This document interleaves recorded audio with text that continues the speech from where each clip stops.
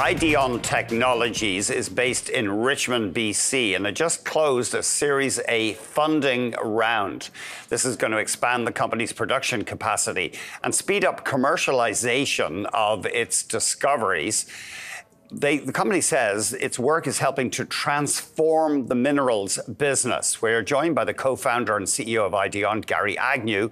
Gary, thanks very much. It's great to talk to you your work involves cosmic rays. Can you tell us how you are using this natural phenomenon to help look for minerals and metals way below the Earth? Yeah, of course, Andrew. So nice to see you again. Uh, yeah, we're using the energy from supernova explosions in space and in the form of cosmic rays. They arrive at the Earth's surface, traveling in straight lines at almost the speed of light, and penetrate the Earth. Uh, what we've figured out the ability to do is measure muon intensity and directionality underneath the Earth's surface. And from that, we provide our clients with 2D and 3D imaging of density anomalies in the subsurface. So for our mining customers, they're using that to uh, discover and delineate critical mineral resources to fuel the energy transition. How do you track the path of the particle a kilometre below the Earth? Yeah, we've uh, miniaturized our, our sensors. Uh, we've reduced the size of them 50x uh, so that they fit in an industry standard drill hole.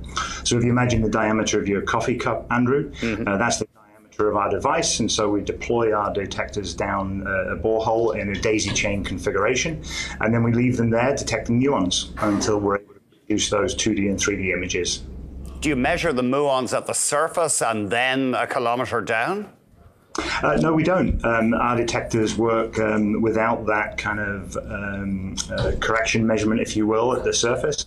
And so uh, we know they travel in straight lines. We've got a lot of data in terms of how much muon intensity we should expect given different density characteristics. And so we use that information uh, to really inform the 3D models we provide our clients. Some of these things, these particles have been traveling for billions of years, I suppose. In, indeed, it's um, mining's a forty thousand uh, year old industry, and so using uh, particles that have been around for millions of years uh, is uh, is quite a novel approach to solving one of the ultimately one of the oldest problems on Earth. You raised sixteen million dollars US not so long ago. Uh, can you tell us who's backing you? Yeah, we're very proud to uh, bring Playground Global uh, to the Ideon team, um, one of Silicon Valley's leading science-based technology companies. And really what we were impressed with with Playground is they have a tremendous back office infrastructure that can really help us scale the business quickly to be able to meet the demands that we're seeing from our clients. And so, yeah, a very exciting moment uh, for the business to really have the capital now to put our foot down and, and be able to respond to the, the needs and opportunities in the market how would how currently how does the mining industry look for deposits that are that far down? Yeah, really important question. It really is a, a, hit and miss, needle in a haystack type approach, Andrew. Um, drilling is the predominant technology used today. That's a 150 year old technology, and the world's going to invest in 150 million meters of drilling this year. So we think it's an opportunity to do that in a more cost effective way, a more environmentally friendly way, and a way that provides the mining companies with greater certainty to make uh, investments in, in projects.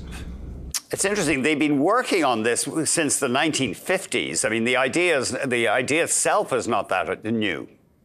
Yeah, the technology in muon tomography has, as you say, been around since the 50s. Um, what we've really done over the last decade is take that uh, scientific level research and turn it into industrial uh, pro- products and, and, and, problems solved. And we've been very, very um, fortunate to benefit from the Canadian tech ecosystem. Um, really has been a, a huge help over the last decade as our company has taken kind of the fundamental research and turned it into a solution for the market. And the digital supercluster is one of the uh, partners that we've worked with in recent years to really help us bring together academia, industry, the tech ecosystem, and really put Canada on the map for, for world leading uh, technologies for the mining industry.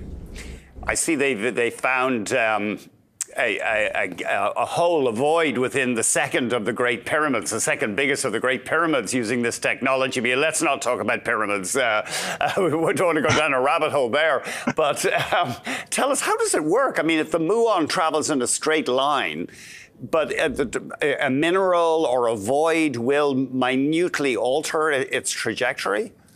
Yeah, almost. Um, the muons travel in, in straight lines, um, and and as they go through dense material, they lose energy and ultimately decay quickly. Oh, okay.